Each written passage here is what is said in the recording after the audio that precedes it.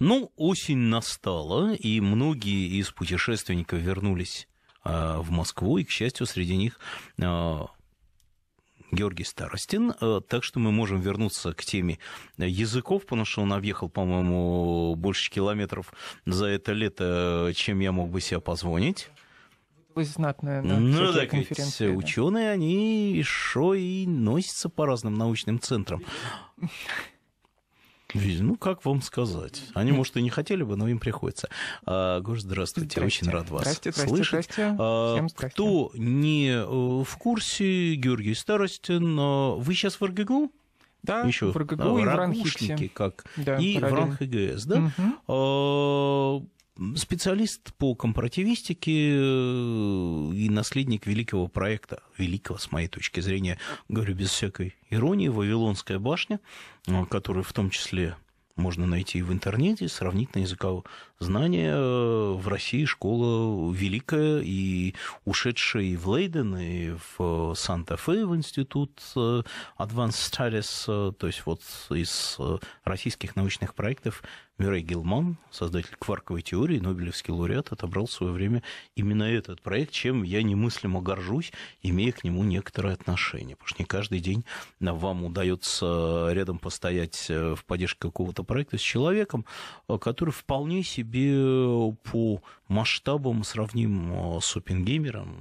Ну, может, не с Эйнштейном, не так известен, но по масштабам того, что делал, вполне себе. Да, пожалуй. Дай бог ему здоровья. Э, не говорите, к сожалению, он относится к поколению вот великих стариков, физиков, да. и возраст никого из нас не щадит. Гош, о чем говорим сегодня? Ну, э, я для начала хотел бы э, поблагодарить всех наших постоянных слушателей. И, если можно, прорекламировать публичную лекцию, да, потому что вот у, нас тут, у нас тут очень мало времени все время на разговоры, а вот 22 сентября в рамках лекции Политру в Тургеневской библиотеке в 7 часов будет моя публичная лекция про языки Африки. Ну, в 7 часов вечера, вечера надеюсь. да, конечно, в 7 часов 22 вечера. Сентября, 22 сентября, Тургеневская библиотека. Тургеневская Адрес библиотека. можно найти в интернете. Да, или на сайте Политру, или где угодно. Вот, всех очень приглашаю, кого интересует вообще проблема происхождения человеческого языка, расселения его из того самого пресловутого африканского континента. Вот мы как раз и поговорим тогда про э, то, как устроены языки Африки и вообще, что они дают для понимания происхождения языков. А, Кайсанские будете затрагивать? Да, конечно, обязательно. То есть бушмены, это Пощелкаем, да, да, да, да. Да, все будет. Со всеми будет. кликсами. Угу. Вот. Ну а сегодня, честно говоря, я хотел бы не про Африку поговорить, если можно, а в рамках, так сказать, нашего просветительского проекта, да, а, последний наш разговор, по-моему, мы закончили на э, очередном кратком-кратком ответе на вопрос, э, какая связь между русским языком и санскритом. Э, кто-то из слушателей задавал этот вечно животрепещущий вопрос. Ну, вот, Задорнов и... на него так ответил, что теперь да рассказывать реальность можно вечно. Бог с ним с Задорновым, ну, забудем да. про Задорнова, поговорим э, серьезно. Вот, потому что, э, ну, конечно, всем нам, э, русскоязычным людям, очень интересно знать э, про ближайших родственников русского языка. А уж когда эм, вдруг э, вы заходите в книжные магазины, снимаете какую-нибудь с полки любительскую книжку типа вот никто не знал, а я открыл, что русский язык родственен санскриту, а такие, к сожалению, тоже бывают, да, то тут, конечно, необходим какой-то комментарий специалиста, какой-то несколько более авторитетное мнение. Потому что действительно часто вот ну, вдруг... хотя в общем родственник, конечно. Конечно, конечно, да, на форумах, интернет-форумах, э, в любительской литературе, в любительских каких-нибудь телепередачах все время это возникает. Вот, а оказывается, а никто не знал. На самом деле, конечно, знали, и знали уже достаточно давно, но только теория это гораздо более широкая. 200 лет, наверное. Да, больше уже Вообще. 200 лет. Эта теория гораздо более широкая, чем просто родство русского языка и санскрита. Да, во-первых, почему просто русский язык? Понятно, что есть славянские языки в целом. И никто не будет отрицать, что э, русский язык э, в большей степени похож на украинский или даже польский или чешский или болгарский, чем на санскрит.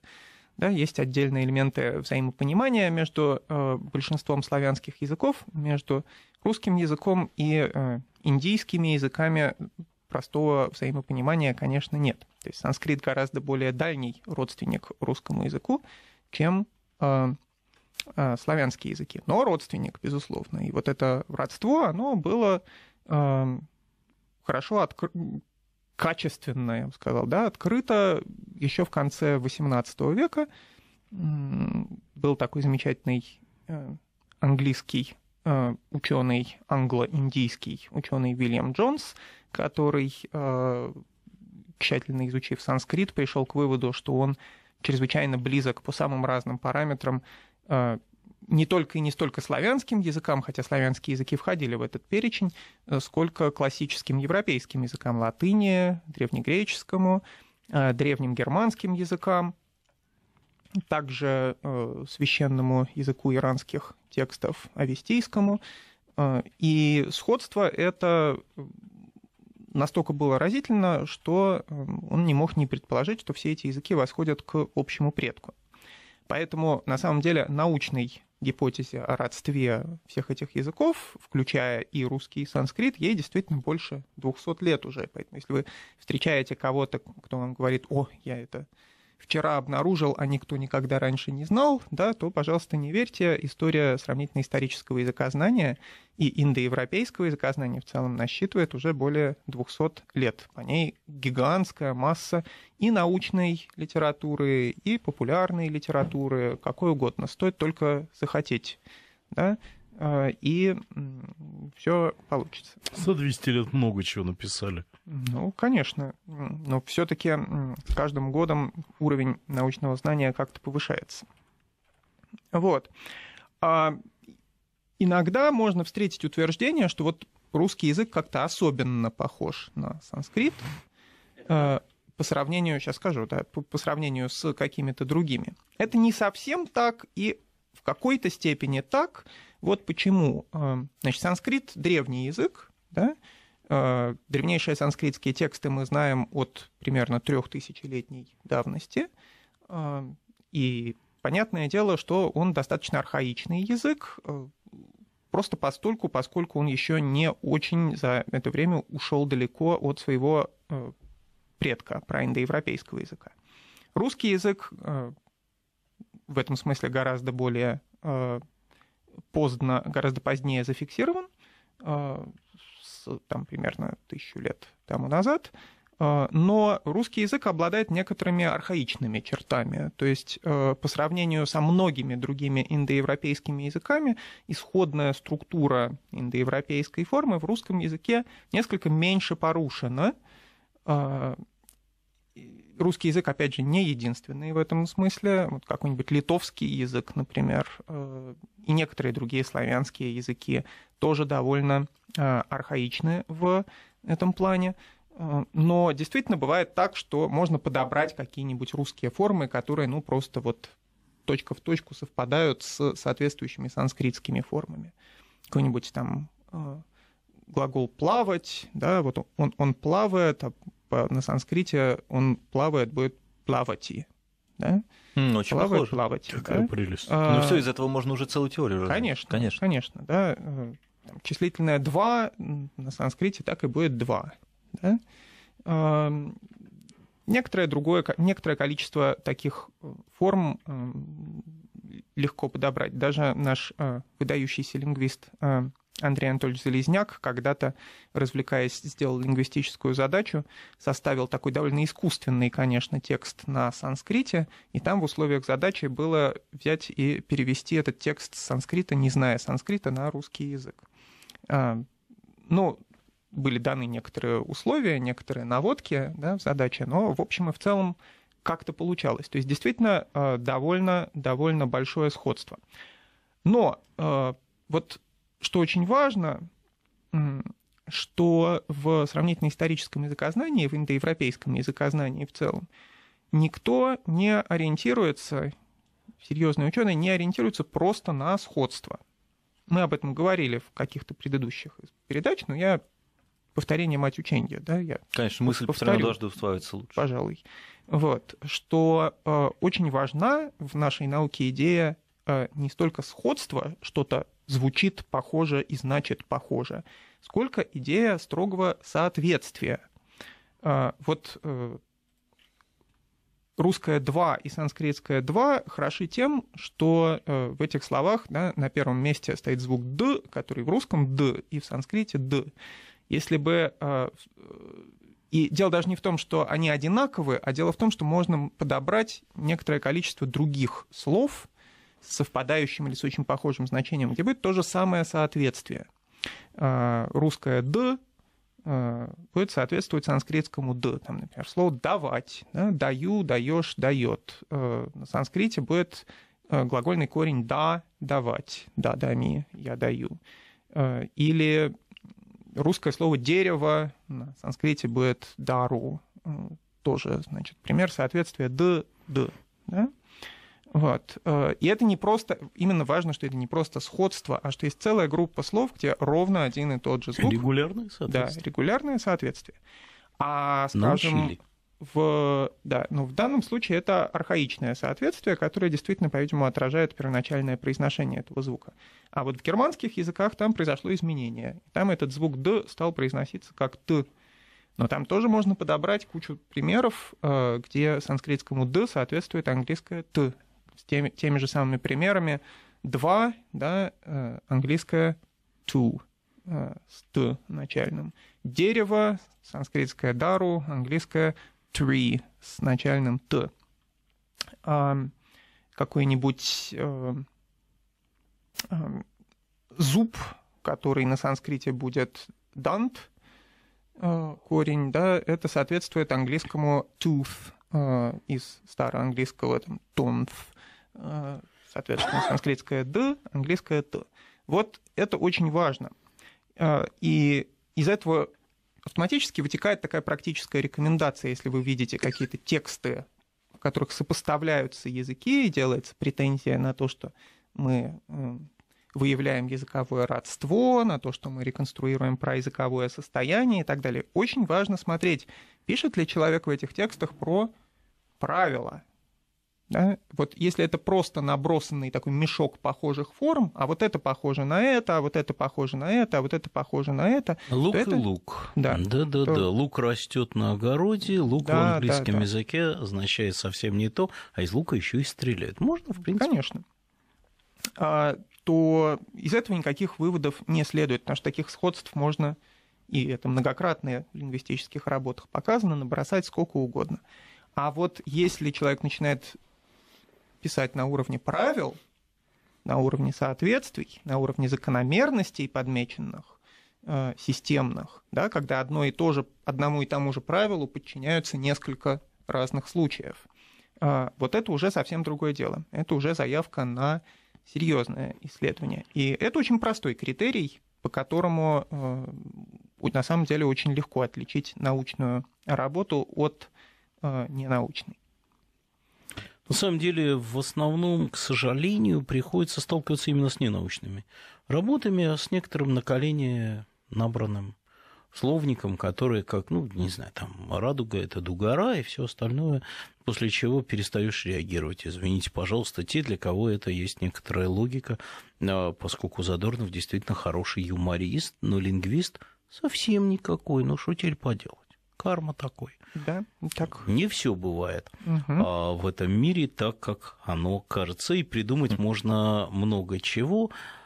А, что, собственно, лингвисты, издеваясь над э, фамилией автора а, и разделяя на зад, ор, нов, а, то есть нечто новая речь, я бы сказал, даже крик, видимо, души, но произносимый не из того места, часто и выдают.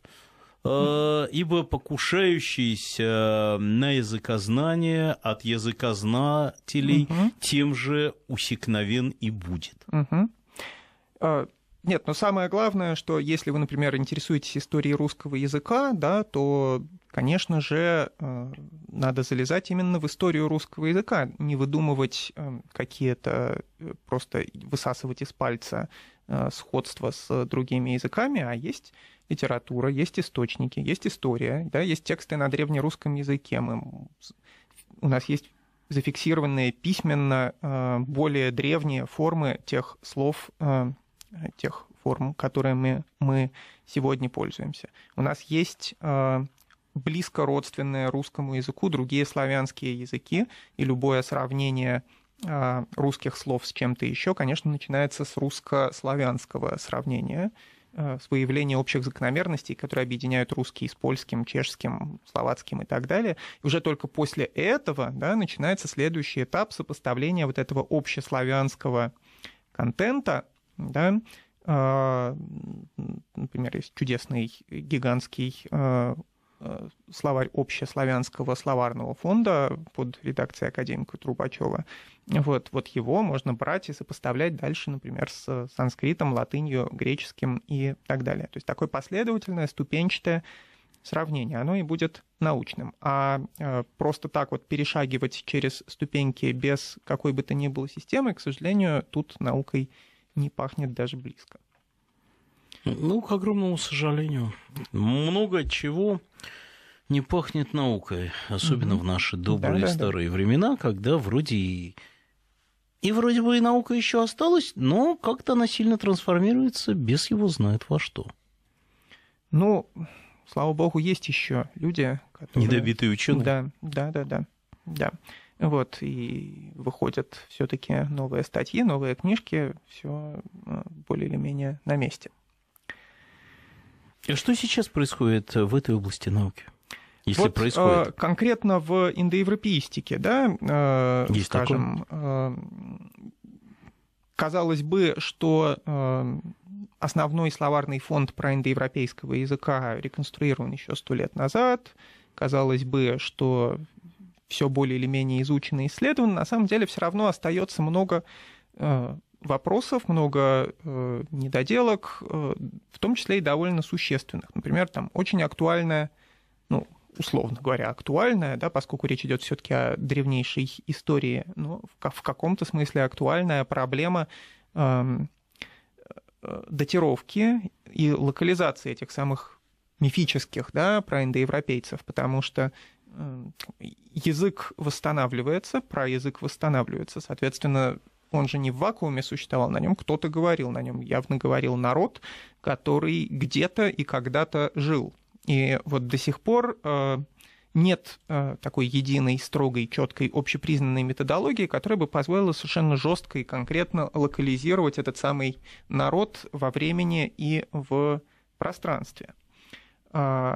Но э, есть, тем не менее, некоторые приблизительные методы, э, вот, э, более или менее вероятные, которые позволяют это сделать. А, один из таких методов — это то, что традиционно называлось немецким выражением «Wörter und Sachen» — слова и вещи, слова и дела, который заключается в том, что мы пытаемся отождествить вот реконструированный язык, реконструированный народ с э, какой-то известной нам археологической культурой путем сопоставления тех слов, которые реконструируются, с э, какими-то конкретными, допустим, объектами, да, э, присутствующими в этой самой археологической культуре. Вот про индоевропейскому языку в этом смысле довольно сильно повезло. Многим языкам везет гораздо меньше.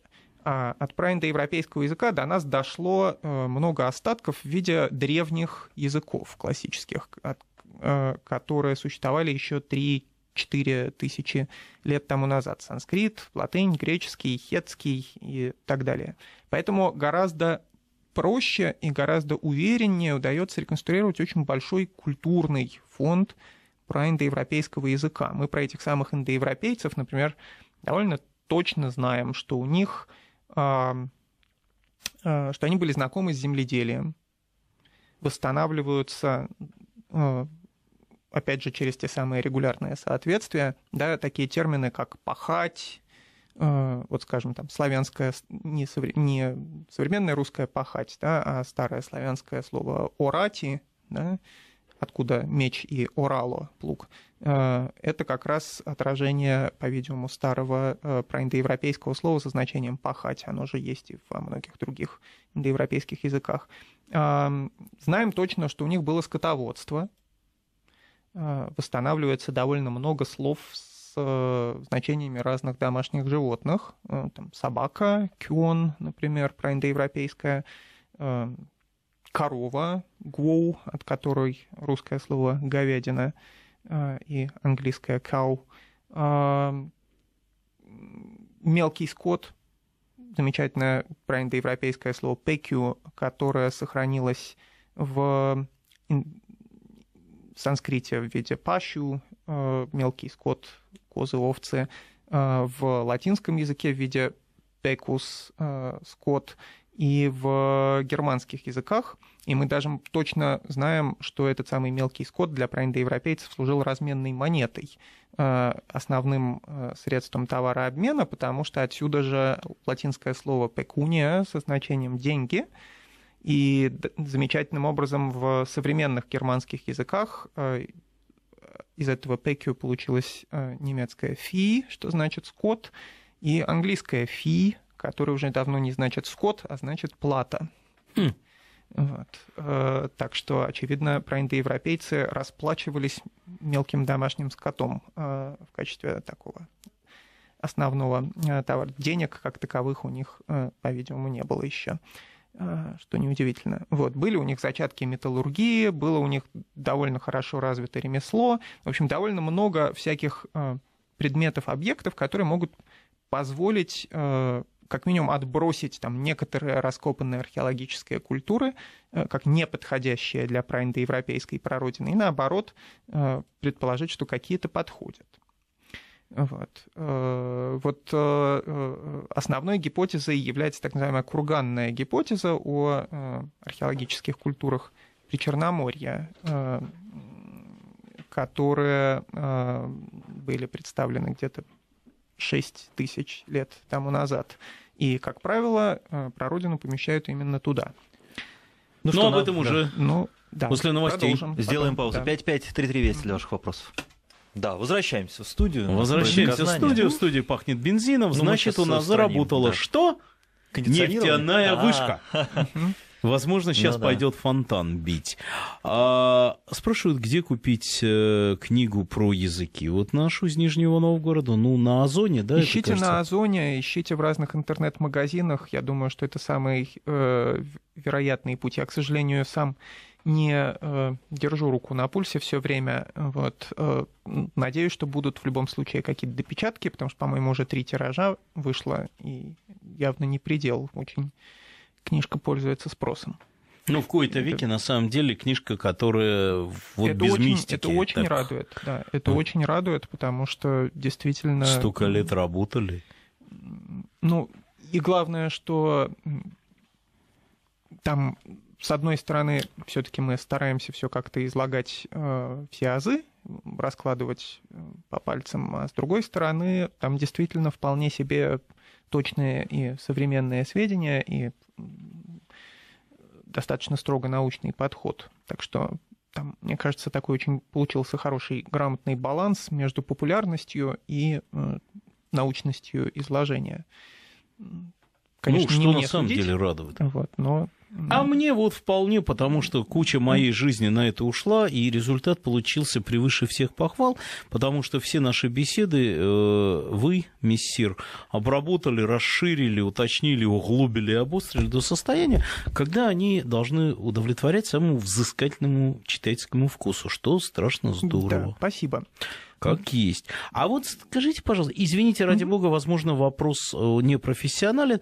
Правда ли, что в восточно-арийских языках западно-арийское «к» читается как «с», то есть Сирия читается как «кирия»? Ну уж я не знаю, насколько это Дело в том, так, что я ну... не очень хорошо себе представляю, что такое восточно-арийское и западно-арийское. Возможно, кто-то называет э, ну, индоевропейские, Цезарь, э, есть Кайсар, индоевропейские там... языки целиком арийскими. Это довольно странная и ошибочная точка зрения.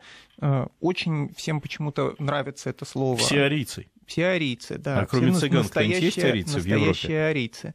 А, арийцы — это индоиранское слово «арья», да, которое значит э, который, собственно, является этнонимом в каком-то смысле, да, ну вот эти, э, эти э, ребята, э, они, пришедшие на территорию Ирана и Индии, называли себя таким образом. Никто, кроме них, себя арийцами никогда из индоевропейцев не называл. Ни германцы, ни славяне, ни латиняне, ни греки. То есть а, арийский не очень понятный термин применительно ко всем индоевропейским народам. Вот, в этом смысле есть, э, вот в научной терминологии принят термин индоарийские языки, он э, применяется к санскриту и ко всем э, его близким родственникам и потомкам индийским языкам, распространенным на территории современных Индии и Пакистана. Да? Хинди, Бенгали, Маратхи, Урду, сингальский, э, цыганский, кстати, язык. Да, да, вот да, цыгане, а я совершенно цыгане, серьезный был, когда я говорил про потомки, цыган. Да, потомки настоящих арийцев. Вот фюреру а, как-то и не снилось, наверное. Безусловно, да. Ну, просто такая магия слова действовала, но она на самом деле к реальности не имеет никакого отношения. Так и римляне тоже никакого к ним имени не имели, да. по-моему, Но отношения. я попробую э, все-таки вернуться к вопросу и, возможно, его как-то переформулировать э, насчет восточных, западных индоевропейских языков. Действительно, есть группы индоевропейских языков, в которых э, определенные звуки произносятся как к э, или г, а в других группах эти же звуки э, смягчились и перешли, соответственно, в чж или в цдз или в сз. Э, и это такое э, четкое противопоставление, которое примерно половину индоевропейских ветвей противопоставляет другой половине. Вот славянские языки, например, они как раз относятся к палатализирующим, к смягчающим языкам. У них старые кг перешли в сз, а, а, скажем, европейские языки не относятся к таким языкам, поэтому какому-нибудь латинскому слову «кентум» а, соответствует русское слово «сто» числительное. А, и санскрит, э, и индорийский языки, они тоже смягчающие. Там, соответственно, в санскрите «сто» будет «ща» там, «щ», которая развилась из «к». Или какое-нибудь греческое слово «кюон», «кюнос», «собака», соответствует санскритскому «щван», э, «щун», э, «собака». Значит, та же самая петрушка. Это э, довольно такая четкая грань, которая отделяет действительно западные ветви индоевропейских языков от восточных, но не, но есть и исключения, есть и такие восточные языки, которые не палатализируют, и наоборот довольно хитрая такая э, штука. Георгий Сергеевич, тут, тут политический вопрос. Да. Более русский наш или украинский? Ну, удивительно. Хороший да. вопрос, да? Большего, да, да. Кому, э, да, да, сказали, кому, кому от этого, в смысле, что непонятно, что значит более что русский, что, что значит Слушайте, менее русский. Зритель. Можно, например, сказать, какой из них по каким-то признакам ближе к прославянскому, допустим. А, ну, кстати, какой? Э, вот, честно говоря, я не Вопрос. скажу, э, потому что э, в украинском произошли некоторые серьезные изменения, ну, например, с гласными, там вот э, переход of и, да, кит вместо код, это инновация. По этому параметру украинский менее близок к прославянскому, чем русский. Вот. По каким-то другим грамматическим, например, параметрам, наоборот, украинский более архаичен. Вот. Это интересно и любопытно, но из этого не надо делать никаких выводов, там, допустим. Да из этого ну, нельзя сделать никаких что? выводов, потому да. что частично так, частично так. Угу. Эта колбаса лучше в этой части, та в той части, ну и чего теперь? В каждой избушке свои Конечно. тарканы. И в этом смысле как раз вот э, полезно, я как раз собирался вернуться к вопросу о проиндоевропейской прародине, он, э, с одной стороны, очень интересен для специалистов, разумеется, да, которые ставят просто своей целью максимально правдоподобно восстановить э, историю расселения человечества по планете. Да, Георгий но... Сергеевич. Да. Сейчас Жалко погода вас будет. перебивать, да, но просто у нас по расписанию да, нужно конечно. зачитать погоду. Конечно. И Карма вернемся а да, к этой теме. 5533 весь для ваших вопросов. А, нас просят огласить название книги, о которой речь «К истокам языкового разнообразия». Вот 10 бесед двух людей, присутствующих в студии. Георгий Старостин, а беседовал он со мной. Да. в издательстве «Дело» вышла книга в прошлом уже году, да? Да я боюсь, году, что чтобы не в позапрошлом, но как-то вышло. Угу. А теперь а, продолжим. Да, Последний да, акт парализонского был... балета. Угу. А, попробую с середины фразы восстановить. Так вот, я говорил про то, что э, вопрос о реконструкции прародины очень важен для специалистов, но он также очень ужасно интересует и не специалистов, потому что люди часто почему-то думают, что вот прародина языковой семьи — это такое, по-видимому, сакральное место, да, э, и если оно там оказалось на твоей территории, то ты должен этим глубоко гордиться. А вот, если допустим, нет, то его надо занять. Разумеется, угу. да, и переместить. Вот сейчас у нас две э, основные конкурирующие гипотезы о индоевропейской прародине. Одна — это вот те самые э, э, причерноморские степи, то есть фактически Украина. Другая — это малоазиатская гипотеза, что индоевропейцы расселялись примерно с территории полуострова Малая Азия, то бишь современная Турция. Э, вот вам, соответственно, э, два э, Плацдармы места. для экспансии. Да, да, два места. И люди, которые на этих местах живут, имеют якобы все основания испытывать какую-то там национальную гордость, допустим. Но это довольно бессмысленная вещь, потому что речь идет в любом случае о реконструкции исходного места расселения, которое было, тут мы переходим к сложному вопросу о датировке про индоевропейского, но все по самым разным э, аргументам сходятся э, в том, что это было ну никак не раньше, чем 6 тысяч лет тому назад, а некоторые даже предлагают даты от 8 до 10 тысяч лет Не тому было назад. тогда ни русских, а, ни украинцев, разумеется. ни славян, ну не было. Разумеется. И э, более того, прямых потомков индоевропейцев, э, языковых про генетических потомков, которые могли перейти на какой-то другой язык, тут сказать, что бы то ни было сложно. Но прямых языковых потомков индоевропейцев ни на территории Малой Азии, э, ни в этих самых крымских и украинских степях уже давным-давно нет. В Малой Азии, как мы знаем, сегодня распространен в основном э, почти исключительно турецкий язык, который к индоевропейским языкам не имеет никакого отношения. Кроме линии отелей, где русские да, он широчайшим тюркский. образом. Вот, когда-то на территории Малой Азии давным-давно жил хетский народ, э, который действительно говорил на индоевропейском языке, но э, он, ну, и хетты богу, были пришельцами. И хетты были пришельцами, и они, оставив нам свои э, клинописные таблички замечательные, к сожалению, все до одного вымерли, по крайней мере, то есть прямые потомки Генетически у них, может, и есть, но языки никаких потомков не оставили. Ну, генетически у всех, наверное, почти да, что конечно, есть. Конечно. Где-нибудь, как-нибудь.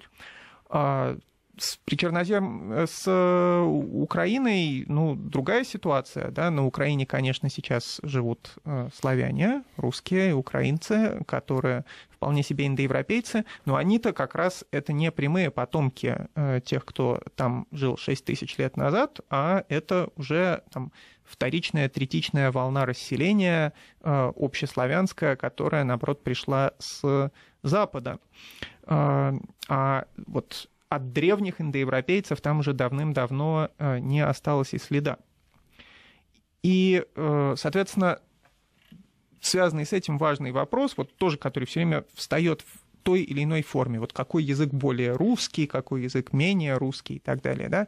Вопрос там, какие из современных индоевропейских языков или из современных индоевропейских народов остались ближе, вот сохранили там дух индоевропейской культуры, например, в максимально чистом, нетронутом виде. А, вся штука в том, что из какого бы места ни расселялись индоевропейцы свои 6-8 тысяч лет назад из Малой Азии или, или из э, украинских степей или откуда-нибудь еще, они э, расселялись по огромным территориям, э, которые уже до этого были заселены. Индоевропейцы практически не приходили на вот новые места, где вообще э, никого не было. Они шли в Европу, которая уже была достаточно густо заселена. Хотя снесли там почти всюду да, индоевропейское. Конечно, к четвертому там, тысячелетию до нашей эры, они шли, наоборот, на восток, в Иран, в Индию, которые тоже уже были заселены и где уже тоже было густое местное население. Да, заселяли центральноевропейскую равнину, где тоже уже были люди. В общем, они не приходили никуда, где бы уже кого-то не было до них. И, соответственно, приходя на эти места, они, разумеется, первое, что происходило, происходило культурное смешение.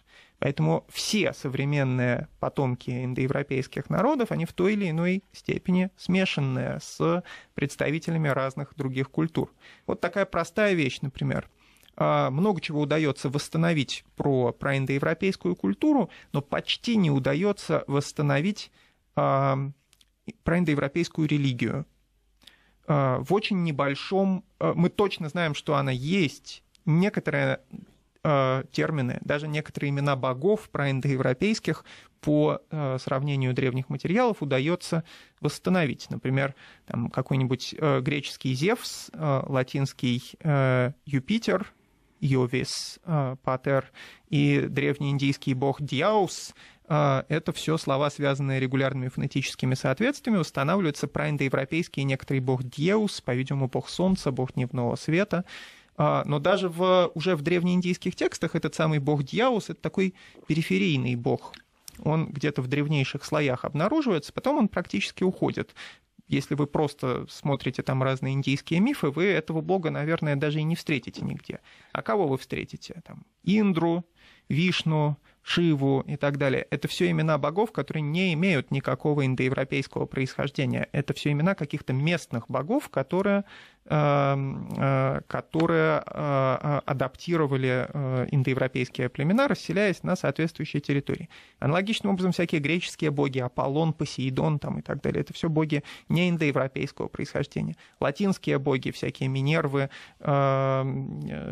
Меркурий и так далее, тоже это все боги не индоевропейского происхождения очень жалкие такие остатки индоевропейского пантеона можно э, перенять. И это очень показательно, потому что, э, потому что это показывает, что э, культурное смешение колоссальное, да, какие-то кусочки своей культуры у индоевропейцев оставались, но в основном все шло вот за счет э, скрещения да, культурного по мере расселения этих самых народов на планете. Поэтому сказать, кто из там, современных индоевропейцев более индоевропеист, чем э, Это вот ответ другие. на вопрос, да? Про да, русский язык. Да, да, да. Кто более русский, русский ну, невозможно, Ну, просто невозможно. Можно, конечно, там выбирать 10 тысяч разных параметров и по каждому отдельно проводить сравнение. Никаких общих результатов тут не будет. Поэтому э, это э, довольно бессмысленно. А главное, что даже если бы это можно было сделать, не очень понятно зачем потому что, ну, если бы мы считали, что проиндоевропейский это был такой э, идеальный язык, и вообще проиндоевропейцы это были такие боги среди людей, да, и поэтому-то им и удалось расселиться по планете, то тогда еще можно было бы вот сидеть и думать, кто же из нас, современных потомков индоевропейцев, ближе к этим самым мифическим богам. Ну, Но я это далек, я вообще мифологическое сознание, вот, от которого, на мой взгляд, надо бы отходить все-таки как-то стараться. Не получается. Да. Кстати, много спрашивают, так, кто не индоевропеец в Европе? Ну, вот Басков справедливо упоминал. Не индоевропейцев в Европе по, язык, по языковому признаку, конечно, это баски, э, Почему-то финны упоминаются, хотя... Финны, финны, да, конечно. Финны не индоевропейцы, финны уральцы. Ну тогда финны уже и, и мадьяры. Финны, эстонцы, да, и мадьяры, венгры. Вот мадьяры, венгры — это очень позднее э, нашествие в Европу, а баски, наоборот, это очень древний остаток э, от доиндоевропейского Тогда наследия. и самый. Э, самый, конечно, да. На севере. Да. Ну, на, на севере много уральских племен, которые заселяли эти области еще до прихода туда э, индоевропейцев.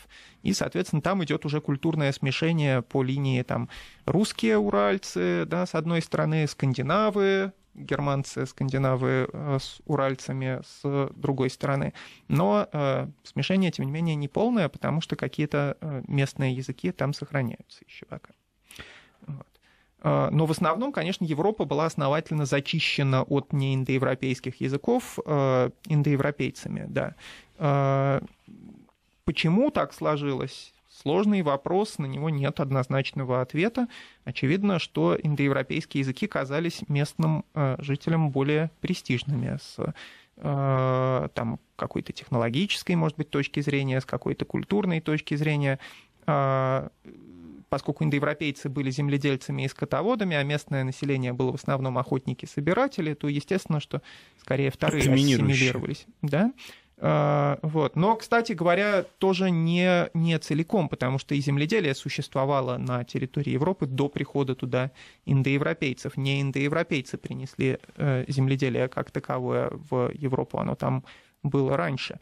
И существовали, как известно, очень высоко развитая культура и цивилизация в Европе, э, там, этруски, например, в Италии, э, которые массивное влияние оказали на Э, римскую цивилизацию. Георгий Сергеевич, ну, к сожалению, да, время у нас конечно. подошло к концу. Спасибо. Ну, как минимум на До этот завтра. раз.